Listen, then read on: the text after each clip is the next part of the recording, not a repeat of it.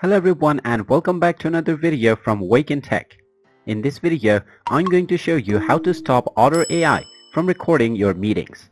So let's get started right away. Just open up your web browser first and then start up a new meeting either using Google Meet or Zoom.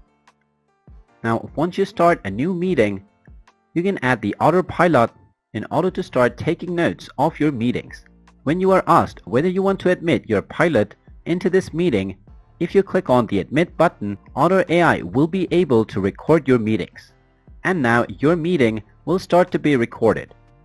In order to stop the recording, you can simply click on stop OtterPilot and then click on the yes button to turn it off. You can also go back to your meeting and then kick out the OtterPilot by clicking on remove from call after clicking on the three dots alongside it.